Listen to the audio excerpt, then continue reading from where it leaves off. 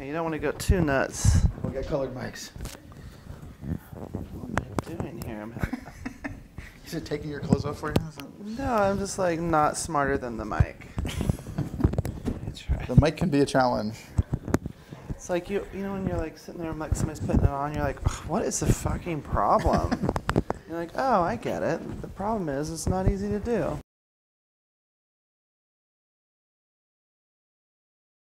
Are you enjoying this? I mean, you've done press before, obviously, but I mean, are you enjoying junket life? Is this? Um, I, I, I've, this is more than I've, I'm used to, but it's, it's cool. It's nice to talk to people, you know. That's true. Normally, I just, I'm sitting in my apartment all day, so this is, this is nice. People coming and fawning over you is a pleasure. Oh, I, yeah. I was thinking about bringing you Chardonnay, but I ah, didn't, I ran out of time on the way over here. I was going to No, stop. at literally, the- like I walk down the street on the Upper West Side in New York, and people stop me, but it has nothing to do with me. They just want to talk to my dog. Like, is that a Pomeranian? I'm like, yep. nobody's famous in New York. What's that? Nobody's really famous in That's New York. That's right. That's right. At least we all pretend nobody's famous in New York. That's right. Really effectively. so you went to the you you jumped into this. It sounds like full two feet in, right into the pond. Yeah. You went to the Sundance Labs, I Yeah. gather. And was it just time for you to do a dramatic role and you were up for it, or was it always something you wanted to do? Or It wasn't anything that I thought I would ever do. I never thought that I would like be acting or whatever. I was like, oh, maybe I'll get like more than like one scene in a movie, like doing something funny or whatever. But um, yeah, for some reason, Geremy saw something in me. He saw me on Inside Amy Schumer singing, you know, running around and being a cabaret uh, hurricane, and he's like, "Oh, I think you should be the mother in my movie." um, but I met him, and I didn't want to do it at first because I just um, I constantly like get in my own way. But he he talked me into. He's like, "There's no pressure, zero pressure. We're just gonna go and whatever." And and luckily, it just gelled really quickly, and I felt comfortable immediately, and um, I felt really safe, and I surprised myself. You know, so I guess sometimes it's good to take a chance on yourself and other people and see what you can do. so you trusted those instincts throughout your career? Is that how you work? Um, when I trust my instincts, that's when my career works. is that I don't always trust my instincts. you had to talk yourself into But it? um, but you know, I have a friend who helps me with like auditions, and she's my acting coach, and she's like, you have to go to Sundance. It's it's such a rare experience, and you know, the thing is, is we got a chance to to find the characters, and Geremy got a chance to find the characters in the script, and I never would have gotten this part if I had to just audition for it, but because he he picked me and he picked Danielle and he picked Sid and he thought that we would all be right for the project for whatever reason. But because we had the opportunity to go and fail and get back up on our feet and do it again, um, we got to stick with it. so do you see yourself as an actress? No, I see myself as a singer. Um, I watch this movie and I'm not completely embarrassed by what I did, which is how I normally feel. I don't ever watch anything. Uh-huh. Um, but I'd like to do more of it because I want to learn more. You Do you feel that way about yourself as a cabaret artist? I mean, I feel a, a really confident when I'm on stage, but every time, other than that, I'm always like sort of doubting it, you know. But I feel more comfortable doing that just because I'm in charge and I'm I control it. And if something fails, it's on me. It has nothing to do with anybody else. I guess I just constantly live in fear of like letting people down and. And, and not um, being loved or something, so I just don't want to. you can lie down on this couch if you really want to. I'm sorry. But, but it's true. It's like the the stage persona is me showing who I really wish I was, like this ultra electric, you know, person, and I get to be in charge of that. Mm. This is somebody else, you know, and you have to trust them to guide you to to bring out the best in the character in the movie, and that's scary for me. Were you always a hurricane? Were you a kid hurricane? Yeah, I've always been a little bit of a, a little shit. I used to get in trouble because I I'm the youngest of six kids, so you got to do something to sort of. but it wasn't even like I was trying. It just is kind of who I was. I'm just like, sort of always like you know, sort of had a blue sense of humor, um, but also like. Parents would love me because I like talking to adults. So I don't know. I just sort of grew into this by accident. And was music an early love, or that? yeah, yeah. Music is like my best friend. Mm. Singing's like my, my, my, my, my support system. were you always a good singer? Um, Start singing with the pretty, radio? I was pretty good, but I got a lot better as I got older, as I figured out like how to, like the technique, you know. Um, I'm still not perfect, but I, I like the way I sing. That's the one thing I'm I can stand by and be like, I'm a singer. I feel proud of that. Did you train or did you just figure it out? Yeah, I studied opera. Hmm. I did. I, I don't know. I I took a lot of voice lessons, and I'm grateful for those because I used to lose my voice all the time because I would just scream. Mm-hmm. And uh, no, I do pretty good not losing my voice, and and um, yeah, I just I, I just have always loved singing. We used to when I was little, we would get drunk, and well, my brothers and sisters would get drunk, and they'd give me a little whisper on the side, and we would sit around the piano like singing, like Manilow and Lionel Richie and Barbra Streisand, and and those are my best memories. So was opera training uptight for you, or was that did you like it anyway? It was just I mean, there are some people that like to party in opera, but like it's serious, you know. And and if I drank or stayed up late, um, you could hear it in my voice, and you have to, you know, you have to have such a crystal, you know, pure tone. And I was like, I, I can't retain languages. You know, have to speak all these other languages. I just want to be a singer, and I was like, well, I can't be a rock singer, and I can't be on Broadway. Look at me, you know, like opera, they'll take all s- shapes and sizes.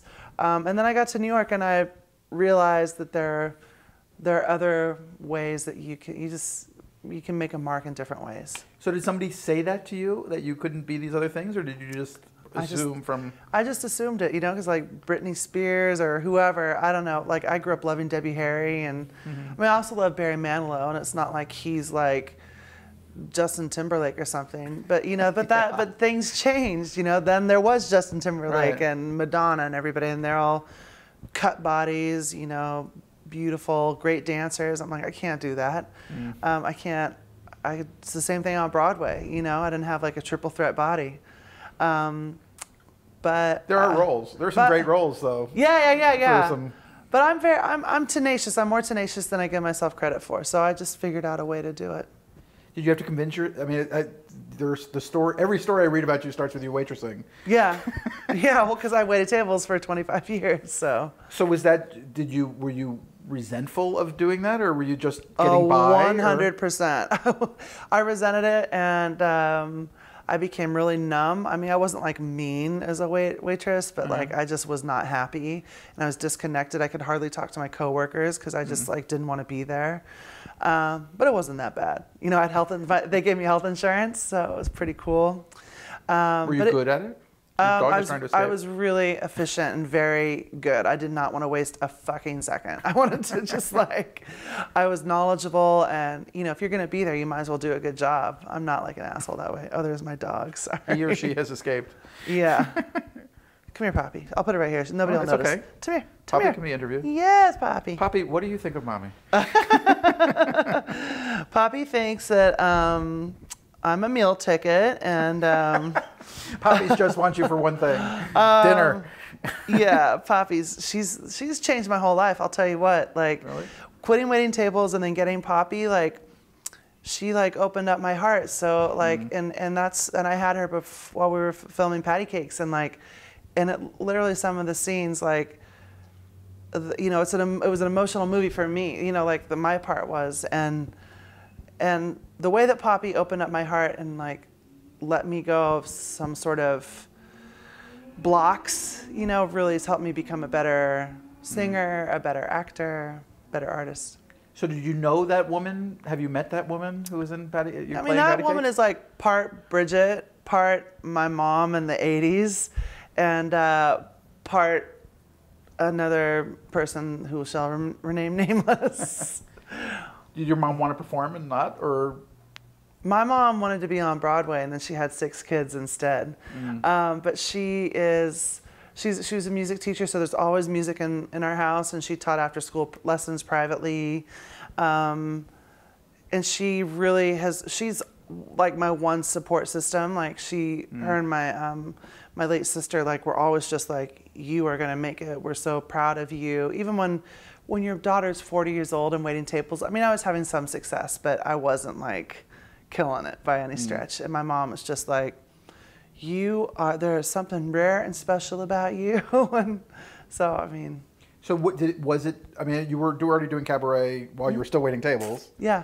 So I mean, you go in, you do a show, you got a great response, you got mm-hmm. people loving you, and you're going back to waiting tables. The next that- night is so just it was brutal. Mm. Especially people like, "Oh my god, I'm such a big fan. Can I get a glass of Chardonnay? Thank you. God, I love you." Anyway, you know what I mean? Was it just because you couldn't put together enough nights, or were you not ready to make the leap? Do you think? Uh, I was ready. I don't know if the world was re- ready. I mean, it's it's been a lot of hard work using a lot of muscle to build an audience because it's not like a lot of people are doing the kind of show that I do. I can't really think of anybody. It Doesn't mean they don't exist, Right. but but you know, you have to build that and it's one person at a time and that Hmm. takes some time. And I knew the people would come around. It just took a lot longer than I had hoped. so you had confidence in that you were building something, I did. I just didn't know what it was because it didn't exist. and when did that become clearer to you? Um, it's still getting clear. I did a tour last fall, like where I was going to cities, and there were, you know, between four and six hundred people there every night, and like, and for like an alternative kind of style performer, I was really proud of myself, and I was like, "You've built something." Yeah. And like, it's, but it's, I'm really hard on myself, so it's like nice to finally give myself a break and a pat on the back. Would you ever not sell out Joe's Pub when you're there now? oh no, I sell that out. I got that down. I got that. I do like you know six nights, five nights. What I could do. is, uh, I did a whole. I did a run there of this show called Rock Bottom, and I did four. I did four times. You know, two months at a time, and it sold out. You'd be like Dave Chappelle and take over the Radio City Music Hall. Just like Dave Chappelle. For two Chappelle. no problem. yeah, hmm that's right. Does the size of the crowd make it different for you? Um, a little bit, but I love Joe's Pub. It's like 186 people, you know, and they are all. I'm on my home turf, and they love it. But I toured with the Oddball Comedy Festival, and we were playing amphitheaters, and nobody, rarely people knew who I was, and I would close the first half of the show, mm. and to turn an audience of 20,000 people and get them on your side and have to do it within 17 minutes oh, was man. pretty that I I kind of felt like then that I was that my luck was changing a little bit. In a good way. In a good way. Once you figured out how to do that. yeah, I mean like I played at Jones Beach in New York and that's like a place where I used to go see concerts. I I, I mean Def Leppard, Kiss, Aerosmith. I've seen all these people there and then I was there as part of this festival and that was one of the best responses I've ever had. People were on their feet, they were losing their mind and I was like this is I can't even believe this is me right now. Was an, it was an outer outer body experience. So do you Out of body Out of experience. body experience. Do you trust body. it at this point, or are you still kind of waiting for somebody to pull the cord? Oh, the cord's gonna get pulled at any second. like I, I, I, I have faith in my ability and I trust myself, but every day I show up to work, it's like a treat. You know what I mean? Like, I just, I, I, I think I'm fooling everybody. Well, people are you. You leave people happy, which Yeah. is a skill set. I mean, it's not just art. Not, you don't just have talent. Yeah. You have a thing that actually kind of makes people glow and Yeah, feel want, special at the end of the day. I, I, I recognize that, and I, I'm starting to believe that that's definitely true, and that is, I could die tomorrow because I know I've lifted some people up. It's just uh, it's a little quick to be dying. don't go. Well, I, I get into that Chardonnay, you know, you never know. If I roll over and smother Poppy one night, you know, I'm going to roll over and smother myself. I, I lived in fear of doing that with an infant child for three or four years. It was like one of these nights I'm going to roll over and he's going to be under there. Like, Oh, oh, no. God, It's terrifying. It's horrifying. Yeah. So was so you worked through things at Sundance. Yeah. You got on the set with this movie. Once you were there, you all kind of knew each other enough, and there was some everything had been established. So was it easy once you were in it, or was it? It just, it was easy in the way that, like, um, a lot of the, like, the bullshit, like, in my head, getting in my way stuff was m- more out of the way than normal because I knew these people. I knew that they wanted me there, and I had to like remind myself of that. Like they want you here. You're not. You're not a burden on anybody. Just enjoy this experience, and I, I have that conversation with myself over and over again. But this is um.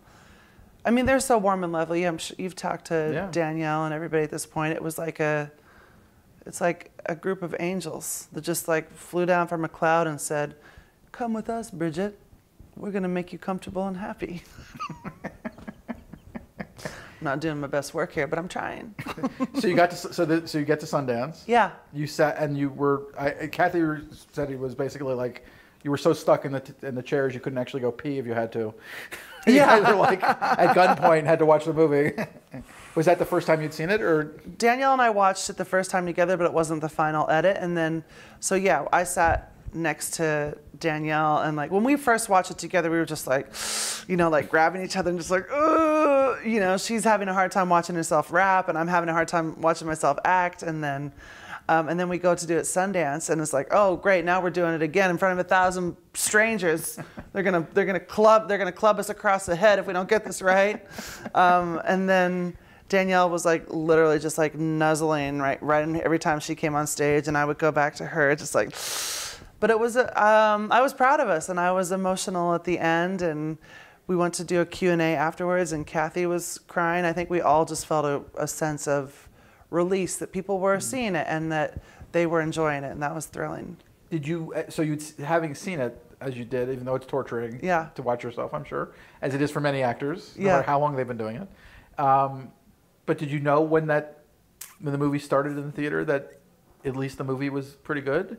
Yeah. Were you confident in that way? I was. least? It was exciting to see it on a big screen like that and have the music loud and you know, there's a m- moment in the movie like where it's in the beginning of the film and Danielle's just driving and it's like this Bruce Springsteen song playing and her her hair is blowing and she just looks so beautiful and and I was like, "Oh, it felt like a movie. You know what I mean? It felt like an iconic character. It felt like I felt like Geremy really did it, and uh, it was exciting.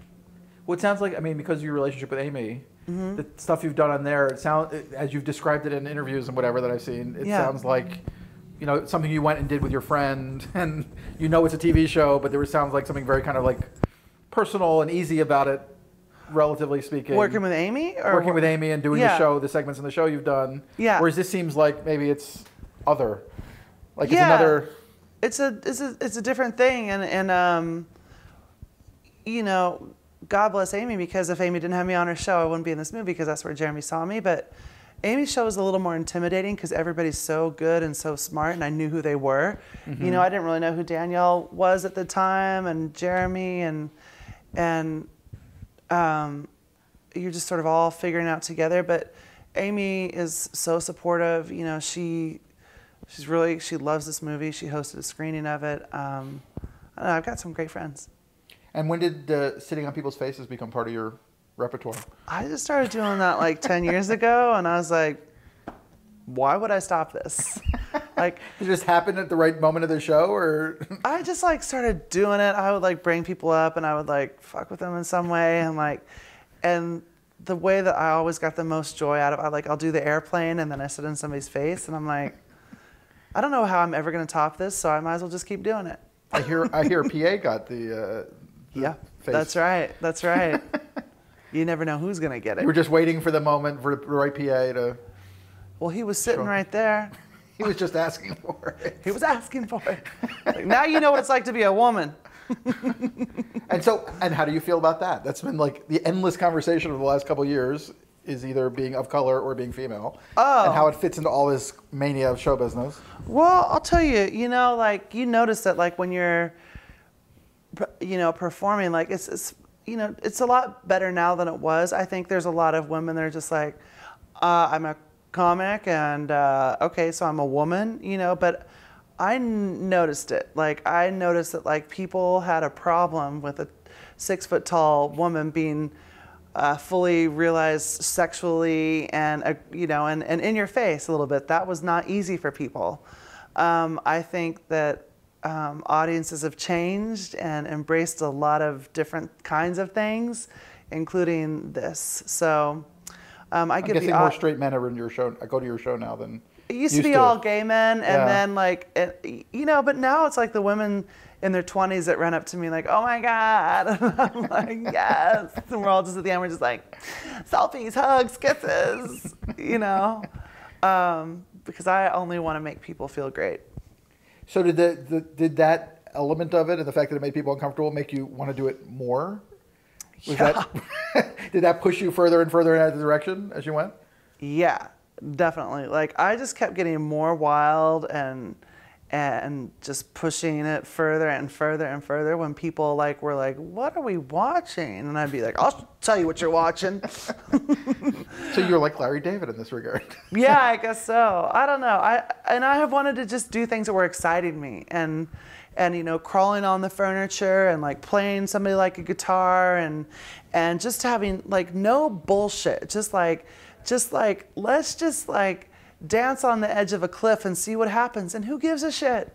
You know what? Like I'll be the one that falls down and like hurts my knee or you know breaks a bone or whatever. I'll take Right. care of you, but like enough with like the hangups about what your body looks like or or or sex or a dick or what it, it just doesn't matter like Yeah. I, to me like all that like it's so tense and everybody's you know there's so many people that are wound up so tight about so many things doesn't this feel better than like this you know Why, for me, that was what was like the draw to Amy's show in the first couple seasons, in particular, where it was like there was this like a post-feminist feminism. Mm-hmm. Yeah. Where it wasn't a, it was distinctly female, but it wasn't really about being female. It was just being a Yeah. person yeah who happened to be female. Yeah. And not being afraid to call everything out. yeah i think that's why amy and i get along so well we see we see the world the same way Yeah.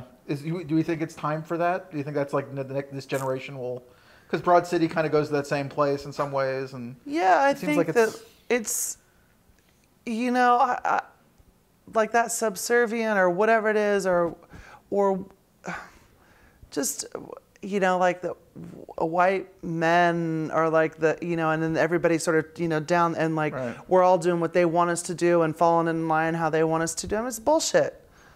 I, I, you know, I, I should get the opportunity to be a fully realized human being, just like anybody that wants to be a citizen in this country or, um, you know, I, I, I don't know what, what I'm saying, but just like, I'm not gonna like go out and crusade and like be like write and think pieces about it. My way of changing the way people think is by showing them that like this is there's no harm in being what what makes you feel good. So when you're in in a few years, as you become more and more famous, and people are become used to your, As your- I'm just like turn, collecting my Oscars and my Emmys, my Peabodys. just piling up on the table under the, you're, you're, they're all in the bathroom because you can't be bothered to have. them That's right. I. I don't even have a bathroom anymore. I just like somebody brings me like a little gold little trough, and I'm just like, thank you. Bring me my Oscars. Bring me mine. I don't think so. But. So is that when you come out in a you know a, uh, a hat, nun's habit and start doing a much quieter act to go the other direction? It's not a Or bad you- idea. my That would are- shock people now. Yeah. My friends are always trying to get me like my, my my fancy friends from New York. They're always like, you should just do a night where you just like sing, you know, like sing whatever. And I tried that, and I meant to do it, and then the beast came It out. comes out. I couldn't stop her. I couldn't stop her. Well, the ballad, I mean, your voice is so- so deep and rich that the ballad stuff, the power ballads and all that are always Yeah. amazing, including in this Yeah. movie. Yeah, I, I love singing that because, like, you know, I, if I, like I mentioned before, like, singing's really like my my best friend and like my my stabilizer, and um, I love singing that way. You know, I probably would do a lot more of that if you know. As I get older and a little more tired, I probably will. you know, you can't be 70 years old and like motorboating people. Well, maybe you can. Maybe. Maybe they you can can- come motorboat. yeah. they can do the work. Yeah. You just sit on the edge of the stage like like uh, Judy Garland, and they just come to you. I can do that. It can be a beautiful moment. Are you Yeah. very? Do you consider yourself at this point very ambitious, or ambitious at all, or are you? I'm not like cutthroat. I'm not like trying to like. I'm not on the phone with my agent every day, being like, "Who's called? Like, what do what do we what do we go on? You know, what's going on?" I I think I just want to continue to always get better. I like making a little more money. That's been nice to not have to, to like go into a restaurant, not have to call for my balance before I walk in the door. You know what I mean? Yeah. Um, I want to I I want to continue to to grow, and luckily there's a, a lot of opportunity out. There's a lot of TV and movie and and plenty of stages around the world where they're um, looking for content.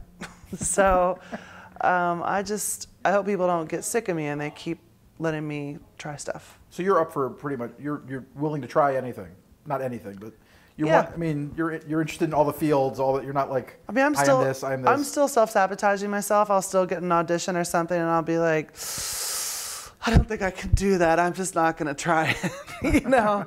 um, but whenever I can like not do that, yeah. Are you? Is it that you're a perfectionist, or is it that somebody told you you can't do it? I just feel like I'm gonna let people down. Like I'm not gonna be good enough or something. Hmm. So I'll just I just keep driving my own car, you know. But it's important to let people down. I mean, I don't think it is letting people down, but I think you know, yeah, no, I know. failing isn't good. Is good. No. Yeah, totally. And I, I guess I just spent so many years failing and not succeeding that like I don't know. Who knows? Was there a moment where you made the where you made the switch in your head where you were like, I'm gonna go for it now. Like I know it's time, and Yeah, a couple years ago, um, I was doing this show, waiting tables, and that was really all I was doing. Like, and my friend Murray Hill's like, "You should start a band. You should do your own thing." And I was like, I was so nervous mm. because, you know, I'd I'd never been in charge of something all by myself. Mm. And then I did it, and as soon as I did that, and then like, you know, cut a couple toxic people out of my life that were sort of undermining me, like I just mm. began to soar.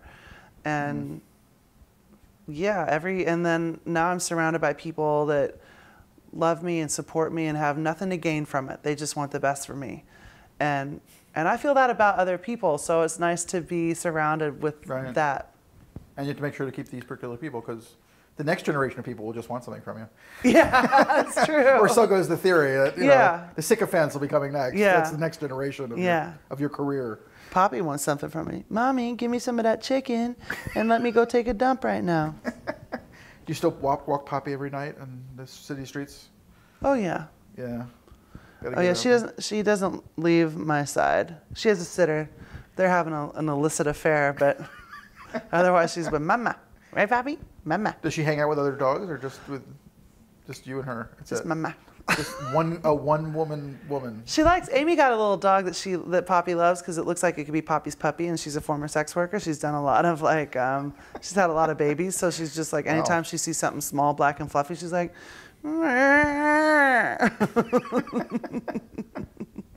So this is bi- so this so now you're getting all this love. Do Mm-hmm. you, are you reading reviews? Are you seeing? Are you getting a sense of what people think of the movie? Um, I try to keep my nose out of that. Um, I've I've heard a couple things. Like my agent will be like, "Oh, you should." They said something nice about your hair or something. Do you mind? Do you like reading nice things about? You? I mean, it's it's funny I'm asking you that, but it sounds like perhaps that's an uncomfortable thing for you. Um, no, I like it. it. It counterbalances the the people that you know tweet at you. just like I was just on Jimmy Fallon, and like that's a much wider audi- audience that I'm used to, and and like you know, you, you a lot of really nice people said a lot of really nice things, but then there's always one just like.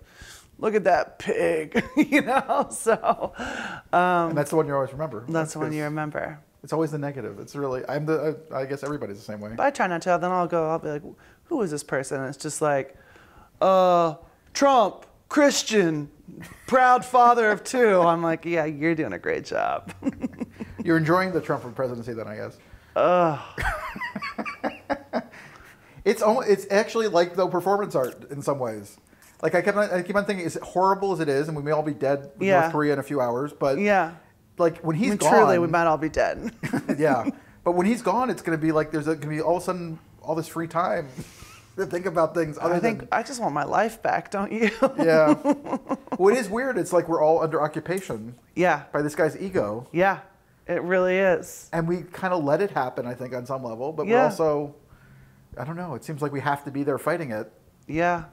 It's weird. I'm exhausted just thinking about it. We've all been like put into some sort of army that we didn't ever want to be part of. That's true. That's true. Fighting this crazy man with yellow hair and That's true. orange face, and That's true. it's wacky. Yeah. So it sounds like it seems like you're like in a good even strain place. Yeah. I mean, I still get depressed and shit, but who doesn't? Yeah. I'm I'm I'm happy. I I'm I uh, you know I'm getting to do things I never thought I'd get to do. So it's not a bad place. It's nice when people who have who are are strong and interesting win. You know, as an audience, because there's so Yeah. much entertainment out there, and it's Yeah. so much the same flavor over and over again. Yeah. And I'm not even sure what flavor you're going to end up being next year. You know, yeah, like, I don't know. I don't know. I feel like I could tune you in, and you might be a whole. There might be a whole different energy. Yeah, you know, I just I just did this pilot. It's gonna it's coming out um, on Amazon September first, and like it's different. It's like um, it's like more acting and like it's like it's like funny but also dramatic, and I get to sing in it, and it's like sort of the most the closest to Bridget that exists. Um, so you know that could go, it could not go. I don't know, um, and I'll just keep singing and keep touring, and hopefully maybe a little more of this acting business. Because Poppy, she is um, she's got a very tender tummy, so I have to get her some. Yeah, I gotta get her the good stuff. Well, you can have the Barbara Cook journey. Yeah, now right. that she's gone, like it's, Yeah, she's kind of she had an amazing career for a very long time, yeah, that's true. and it feels like you're really, in some ways, just beginning. It's like I think so. You know, um, John Slattery, not to drop a name, but um, um, I was talking to him a number of years ago, and he's like, you know, Bridget, I didn't really like get successful till I was 50, and you know, there's a lot of late bloomers out there, and I'm happy if I get to be one of them. Well, thank you very much for your time. Thank I you. appreciate it. Thank you, Poppy. Poppy, are you okay, Poppy? Crashed our interview. Poppy. Jesus. She found the sun. yeah. Somewhere warm to lay.